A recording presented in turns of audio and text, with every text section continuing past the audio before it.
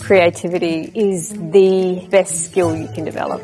You need to acknowledge that you're a learner before you can then begin that process of learning. I'd like you to work within these parameters and now go forth and create.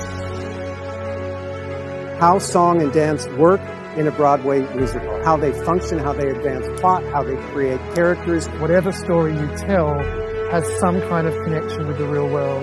Creativity is about shooting something every week. It's always having something to edit. I think that we are yet to exhaust the possibilities of storytelling.